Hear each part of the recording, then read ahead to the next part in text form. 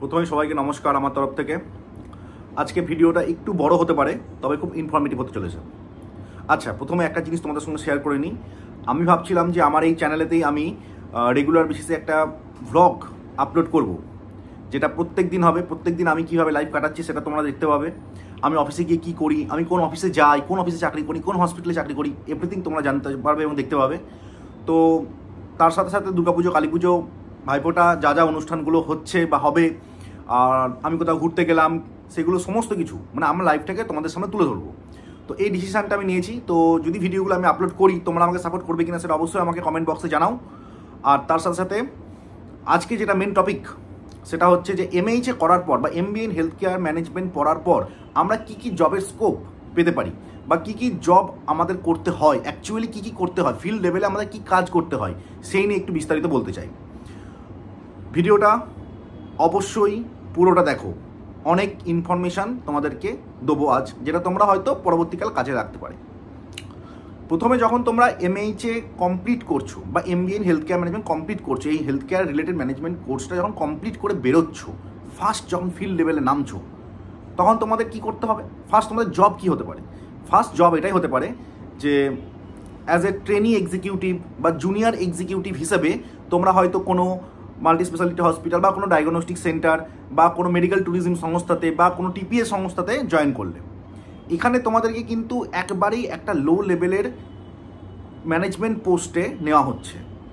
তার মানে কি? তোমরা এখানে ট্রেনিং প্রথম এক বছর তোমাকে ভালো করে কাজটা শিখতে হবে এবং দেখাতে হবে যে হ্যাঁ তুমি ক্যাপেবল তুমি যে এমএইচ এটা দু বছর ধরে বা এমবিএটা দু বছর ধরে পড়ে আসছো যার সঙ্গে তুমি যদি মেলাও, যে আমি কি পড়ে এলাম আর কি কাজ করতে অ্যাকচুয়ালি আমাকে হচ্ছে, তাহলে কিন্তু অনেকটাই ফারাক থাকবে।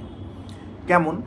ধরো তুমি ওপিডিতে চাকরি পেলে ওপিডি ডিপার্টমেন্টে চাকরি পেলে, সেখানে তোমার কী কী করতে হয়? আমি প্রত্যেকটা স্পেসিফিক ডিপার্টমেন্ট অনুযায়ী একটু কাজগুলো ছোটো ছোটো করে বলে নিচ্ছি।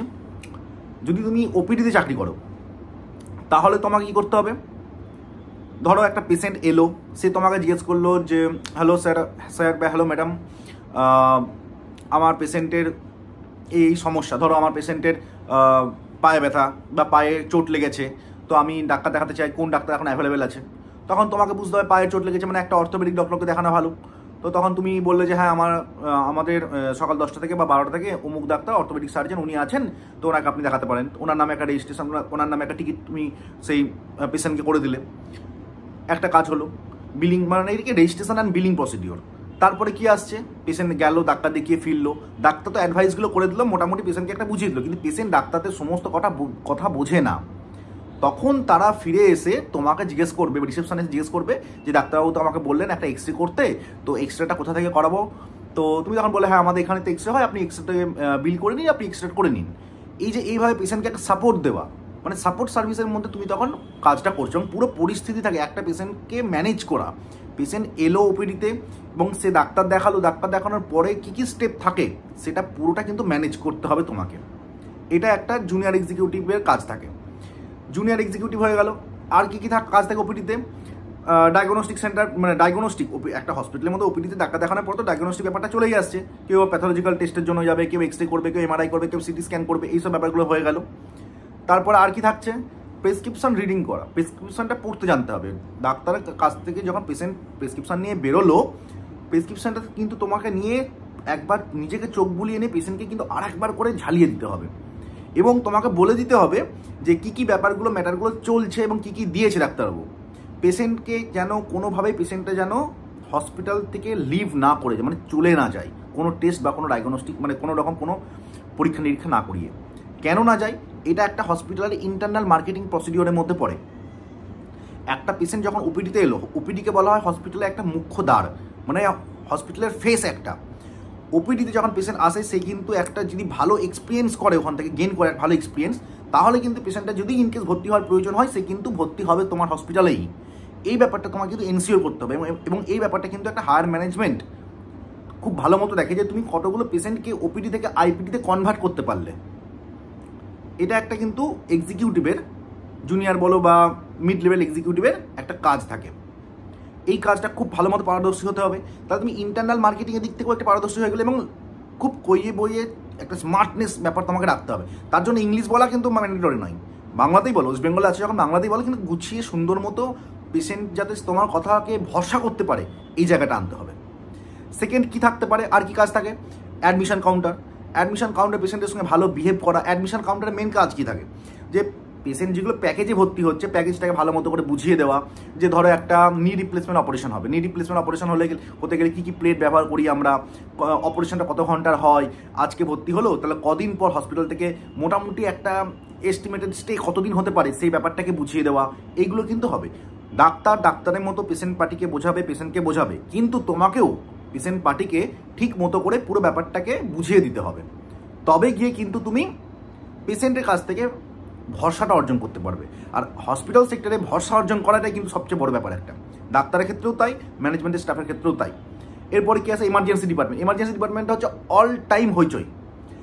এখন ধরো রাত একটা বাজে। তুমি ভাবলে রাত মোটামুটি সাড়ে বারোটা একটা বাজলো। মোটামুটি যা পেশেন্ট লোড ছিল, একটু ক্লিয়ার হয়ে গেছে। এবার একটুখানি টিফিন করে নিয়ে একটু বসি রিল্যাক্সে হয়তো আধ ঘণ্টা বসলে, দেড়টা পর্যন্ত বসলে। হঠাৎ করে দেখলে দুটো অ্যাম্বুলেন্স পরপর ঢুকলো। ট্যাও ট্যাও করতে করে ঢুকলো। ব্যাস। ওই মুহূর্ত থেকে একদম পুরো, কি বলব, সে ঘুমিয়ে থাকা হালকা একটু ঝিমুনি ভাব আসছিল না? পুরো উধাও।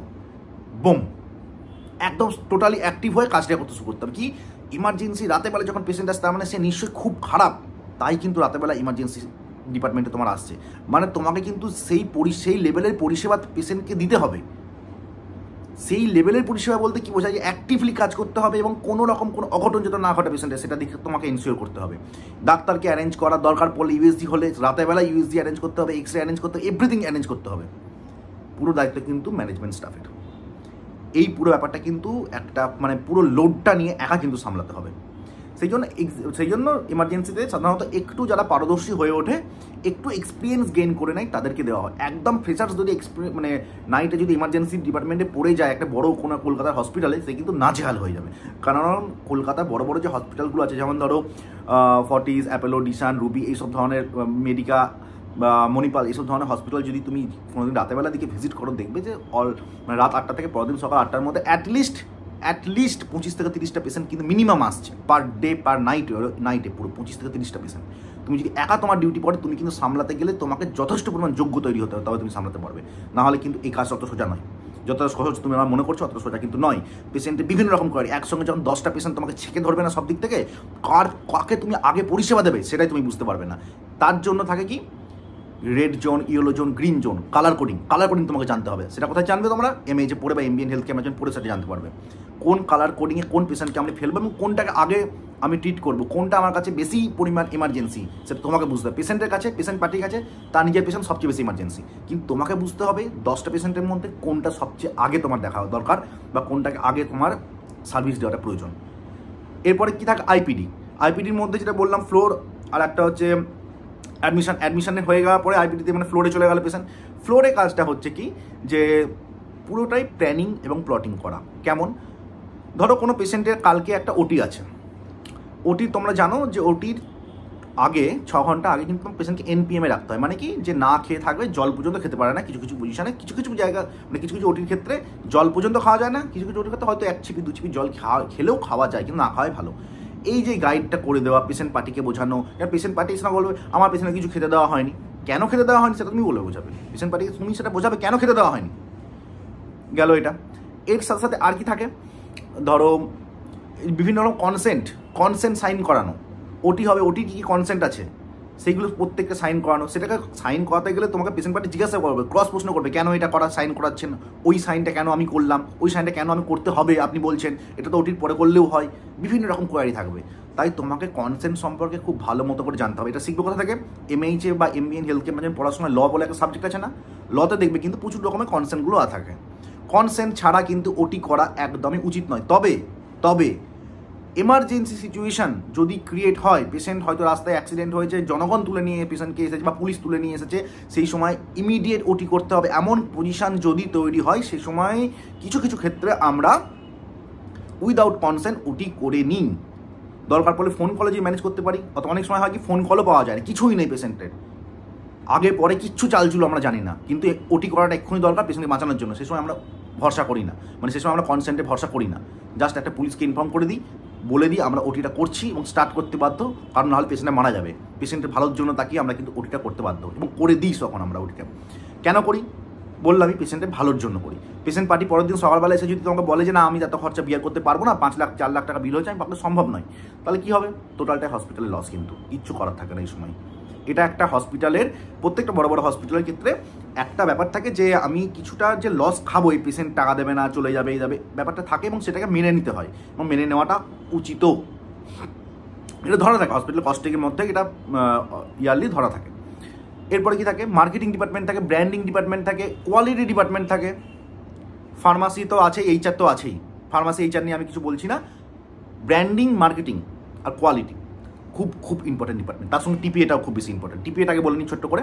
টিপিএ বলতে কি বোঝায়? Third party insurance third party ইন্স্যুরেন্সের মধ্যে কী কী থাকে? যে সব ক্লেমিংগুলো তোমরা করছ, এই যে CGHS card West Bengal health scheme Star Health Apollo Munich HDFC agro এইসব যে কার্ডগুলো থাকে, তাদের যে ফেসিলিটিগুলো পাবে, কতটা পার্সেন্ট ফেসিলিটি পাবে?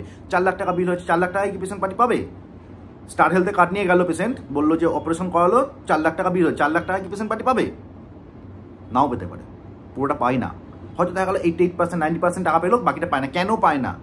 সেটা পেশেন্ট পার্টিকে বোঝাতে হবে টিপিএ যে যে থাকবে তাকে। কারণ ক্লেমটা পাস করাতে হয় না। ক্লেমটা পাস কত স্মুথলি তুমি করাতে পারবে। তুমি হসপিটাল থেকে বিল করে স্টার হেলথে কোম্পানিতে পাঠিয়ে দিলে যে আমাদের চার লাখ টাকা বিল চার লাখ টাকা স্টার হেলথ কিন্তু দেবে না। তোমার ক্রস প্রশ্ন করবে অনেকগুলো। কেন হয়েছে? কী জন্য হয়েছে? বিভিন্ন রকম ক্রস প্রশ্ন করবে। এই ক্রস প্রশ্নগুলোর উত্তরটা তোমাকে কিন্তু খুব সুন্দর মতো সাজিয়ে গুছিয়ে লিখতে, লিখে দিতে হবে। With proper documentation with doctor sign এবং স্ট্যাম্প হসপিটালের। বুঝতে পারছ ব্যাপারটা? যে যথেষ্ট পরিমাণ সিনসিয়ারলি কাজ করতে হবে। এরপরে কি থাকে? কোয়ালিটি কোয়ালিটিটা খুব ভালো। এনএবিএইচ এনএবিএল জেসিআই অ্যাক্রেডিশনগুলো আনা। এনএবিএল এনএবি এনএবিএলটা কখন? ল্যাবের ক্ষেত্রে এনএবিএইচটা কখন? হসপিটালের ক্ষেত্রে জেসিআইটা হসপিটালের ক্ষেত্রে। জেসিআই ইন্টারন্যাশনাল এনএবিএইচটা ন্যাশনাল আর হচ্ছে জেসি আর সরি এনএবিএলটা হচ্ছে ল্যাবের ক্ষেত্রে ন্যাশনাল অ্যাক্রেডিশন এটা একটা স্ট্যান্ডার্ডকে বোঝায় যে তোমার হসপিটাল বা তোমার ল্যাবটা বা তোমার ডায়াগনোসিসটা কতটা ভালো, কতটা হাই স্ট্যান্ডার্ডে তোমার সার্ভিস তুমি পেশেন্ট পার্টিকে প্রোভাইড করছ তবে তুমি এনএবিএইচ বা জেসিআই বা এনএবিএল অ্যাক্রেডিশনটা পেয়েছ এই যে সার্টিফিকেটটা পাওয়ার জন্য কিন্তু যথেষ্ট পরিমাণ হসপিটালকে সাজিয়ে গুছিয়ে রাখা এবং কোয়ালিটি ট্রিটমেন্ট দিতে হয়।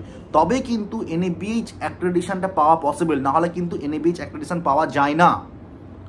এই এনএবিএইচ বা এনএ এনএবিএল বা জেসিআই অ্যাক্রেডিশনটা পাওয়ার জন্য কি কি ডকুমেন্টেশন করতে হবে, কি কি লাগবে স্টাফদের বিহেভ কেমন হওয়া উচিত স্টাফদের বেসিক নলেজ কি থাকা উচিত প্রত্যেকটা কিন্তু একজন কোয়ালিটি ম্যানেজারের দায়িত্ব প্রত্যেকটা স্টাফকে হসপিটালের ট্রেন্ড করা।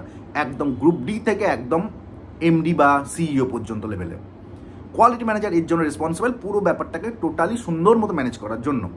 কোয়ালিটি ম্যানেজার একজন হেড থাকে, একজন কোয়ালিটি এক্সিকিউটিভ থাকে, একজন জুনিয়র এক্সিকিউটিভ থাকে কোয়ালিটি ডিপার্টমেন্টে তিন চারজন একটা টিম থাকে। তারাই পুরো ব্যাপারটাকে ম্যানেজ করে। এর থাকে কি এরপরে কী হলো? মার্কেটিং এবং ব্র্যান্ডিং ব্র্যান্ডিং বলতে বোঝায় তোমার যে হসপিটালে চাকরি করছ বা যে হসপিটালটা তোমার সেই হসপিটালের নাম লোকের মুখে মুখে জানে তো? লোক শুনে একদম আলিপুরদুয়ারে একটা লোক, এক নামে তোমার হসপিটাল চেনে তো? নাম জানে তো? সেটা হচ্ছে ব্র্যান্ডিং। হ্যাঁ তোমার একটা ব্র্যান্ড ভ্যালু তৈরি করা। হসপিটালের ব্র্যান্ড ভ্যালু তৈরি করতে পারাটা হচ্ছে ব্র্যান্ডিং। এবং সেইটাকে যত তুমি সুন্দর মতো করে করতে পারবে, তত লোক তোমার হসপিটালকে জানবে, চিনবে এবং তত পেশেন্ট তোমার হবে। তাই ব্র্যান্ডিং এবং মার্কেটিং একে অপরের পরিপূরক। ব্র্যান্ডিং প্রপারলি না হলে কিন্তু মার্কেটিং প্রপারলি হবে না। মার্কেটিং বলতে কি বোঝায়? বিভিন্ন ডক্টর ডক্টর তুমি ঘুরলে ডক্টরের সঙ্গে কনসাল্ট করলে ডক্টররা বলে দিল, অমুক হসপিটালে চলে যায় বলে তো, এটা মার্কেটিংয়ের মধ্যে পড়ে। মার্কেটিং থেকে মানে বিভিন্ন প্রত্যন্ত গ্রাম থেকে মার্কেটিং এক্সিকিউটিভরা মার্কেটিংয়ের যারা চাকরি করে ডিপার্টমেন্টে তারা গিয়ে গিয়ে পেশেন্টগুলোকে তুলে নিয়ে আসে। বিভিন্ন রকম স্কিম বিভিন্ন রকম অফার দিয়ে তাদেরকে নিয়ে আসে হসপিটালে ট্রিটমেন্ট করানোর জন্য অপারেশন করানোর জন্য। বিভিন্ন বৃদ্ধাশ্রম, বিভিন্ন অনাথাশ্রমের সঙ্গে টাই আপ করে অনেক সময় পেশেন্টগুলোকে আনার জন্য। এগুলো একটা মার্কেটিং স্ট্র্যাটেজির মধ্যে পড়ে। কিন্তু ব্র্যান্ডিংটা ব্র্যান্ডিং ডিপার্টমেন্টের কাজ কিন্তু কোনো পেশেন্ট ধরে আনা নয়। ব্র্যান্ডিং ডিপার্টমেন্টের কাজ হচ্ছে তোমার হসপিটালের ব্র্যান্ড ভ্যালুকে এতটাই উচ্চমানের করে তোলা, লোকের নাম শুনে তোমার হসপিটালে এমনিই ছুটবে। মাঝ রাস্তায় কোনো অ্যাক্সিডেন্ট হলে তুমি কি চেষ্টা করো? ফার্স্ট ধরো কাছাকাছি তিনটে হসপিটাল তোমাকে দিলাম। দিশান আছে রুবি আছে অ্যাপেলো আছে। ফার্স্ট তোমরা কোনটা ট্রাই করবে? অ্যাপেলোতে যাই। কারণ কি ওর ব্র্যান্ড ভ্যালু খুব বেশি। তারপরে রুবি আছে ডিশান আছে, এগুলো সমস্ত একই গোত্রীয় হসপিটাল প্রত্যেকটা বড় হসপিটাল তো এই ব্যাপারগুলো থেকে যায় কিন্তু। তাই ওয়েল নোন এবং ওয়েল এস্টাবলিশ এবং স্ট্যান্ডার্ড হসপিটালে মানুষজন যেতে চাই দেখো, তুমি কলকাতার দিকে কম বেশি হয়তো একটা অপারেশন করতে গেলে কোনো হসপিটালে যদি দু লাখ লাগে, কোনো হসপিটালে এক লাখ আশি লাগবে, কোনো হসপিটালে দু লাখ কুড়ি লাগবে। এরকম ডিফারেন্সই হয়। তো সেই ডিফারেন্সের জন্য একজন মানুষ কিন্তু সবসময় ট্রাই করবে যে দু লাখ কুড়ি যাক। বাট ট্রিটমেন্টটা এবং তার ফেসিলিটি যেন খুব ভালো মতো হয়। হ্যাসেল ফ্রি পেশেন্ট পার্টি যখন ওখানে যাচ্ছে সেই কিন্তু এমনি অতিরিক্ত টেনশান এবং অতিরিক্ত ঘাবড়ে গিয়ে আছে হসপিটাল হসপিটাল মানেই পেশেন্ট সাধারণ মানুষের ক্ষেত্রে হসপিটালে যখন যাচ্ছে সে, তখন কিন্তু অলরেডি ঘাবড়ে আছে প্রচণ্ড পরিমাণে। সেই পরিস্থিতিতে যদি হসপিটাল স্টাফের মানে ম্যানেজমেন্ট স্টাফের বিহেভ যদি ভালো না হয়, তাহলে কিন্তু সেই হসপিটাল বেশি দিন লং রান করতে পারবে না। তাই এখানে বিহেভিয়ার এবং প্রত্যেকটা মানুষকে হসপিটাল স্টাফদের মানবিক হওয়াটা খুব বেশি প্রয়োজন। আশা করি তোমরা যতটা হলো, ভিডিওটা পনেরো ষোলো মিনিট তো হয়েই গেল, আশা করি অনেকটা ধারণা তোমাদেরকে দিতে পারলাম। এরপরেও যদি তোমাদের ফার্দার কিছু জানার থাকে, তাহলে অবশ্যই আমাকে ফোন করো কল করো। আমি তো আছি তোমাদেরকে হেল্প করার জন্য। আর অবশ্যই আমি চেষ্টা করছি এবার থেকে হসপিটাল মানে যে বিভিন্ন রকম ডক্টররা আছে, তাদেরকে একটা পোডকাস্টিং শুরু করা, এটাও আমার মাথার মধ্যে একটু আছে। যে ডাক্তাররা, এই ধরো অর্থোপেডিক সার্জন একজন অর্থোপেডিক সার্জনের সঙ্গে একটু ইন্টারভিউ নিলাম কোনো দিন গাইনোকোলজির সঙ্গে নিলাম কোনো দিন আমরা দাঁতের ডাক্তারের সঙ্গে নিলাম, বিভিন্ন রকম ডক্টরকে আমরা একটু চেষ্টা করছি আমি স্পেশালি তাদের সঙ্গে একটু বসে আলাপচারিতা করার জন্য। আশা করছি তোমাদের সাপোর্ট পাবো। আর অবশ্যই কমেন্ট বক্সে জানা ভিডিওটা কেমন লাগল, ভিডিওটা শেয়ার করো। যারা এমএইচে পড়ছো এমএইচও বা এমবিএন হেলথ ম্যানেজমেন্ট পড়ছো, তাদের আশা করি ভিডিওটা খুব কাজে লাগবে। জব রোল সম্পর্কে তোমরা অনেকটা আশা করছি, তোমাদেরকে আমি ধারণা দিতে পারলাম। নমস্কার, ভালো থেকো।